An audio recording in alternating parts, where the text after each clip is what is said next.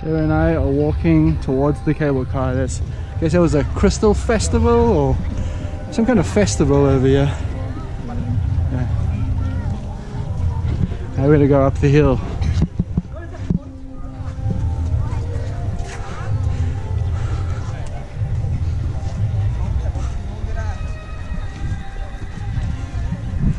Those mountains down there, gorgeous.